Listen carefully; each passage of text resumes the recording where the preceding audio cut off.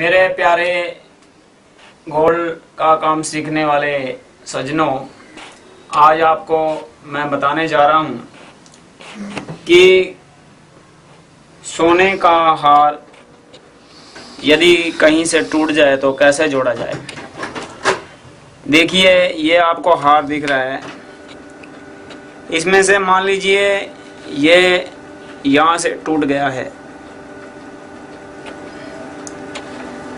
यहाँ से टूट गया है, या किसी खिंचाव आ गया है, या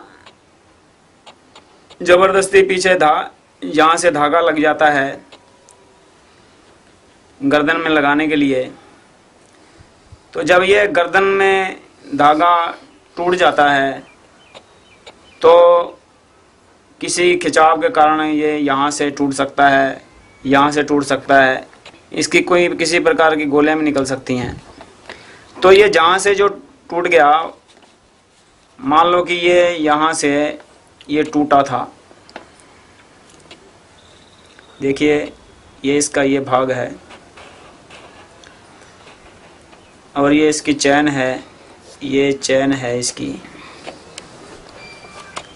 ये बीच में चैन जा रही है। ठीक है जी?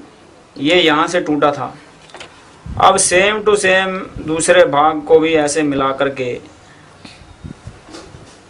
इस प्रकार से मिला करके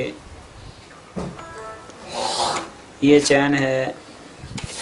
ये बीच में, इसमें ये रखे हुए हैं डिज़ाइन के। तो ये यहाँ से हमने सोने के, टांके के कुछ टुकड़े काटने हैं। ये ये औज़ार है सोने के टुकड़े के टांकों को टांके काटने का।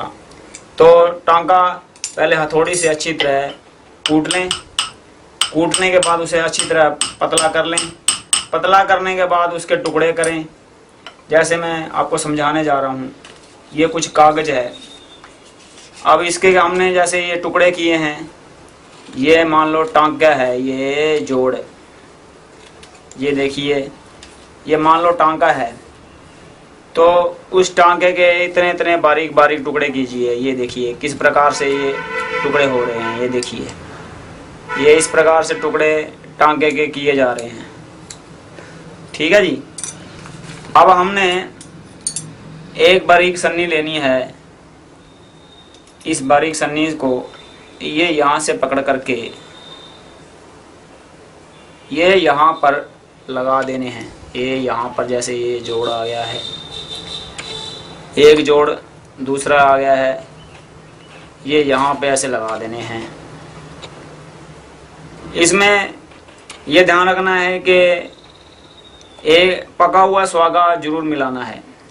इसके अंदर पका हुआ स्वागा जैसे मिलेगा। अब इसको बंकनाल से मुँह में जैसे डाल करके, ऐसे मुँह में डाल करके जैसे बत्ती चल रही हो तो ऐसे जोड़ देना है, ऐसे फूक लगा करके। थोड़ी सी उसकी धार बैठेगी आँख की तो वो ऐसे का ऐसे सेम टू सेम जुड़ जाएगा। जुड़ने के बाद इसको गंदे के तेजाब में डालना है, या शौर्य के तेजाब में भी डाल सकते हैं, ताकि ये, इसका जो क्लैरिटी सेम टू सेम हो जाए, और उसके बाद उसको ब्रश से साफ़ कर लिया जाए। अच्छी तरह हरीठे के पानी से साफ़ कर लिया जाए। धन्यवाद।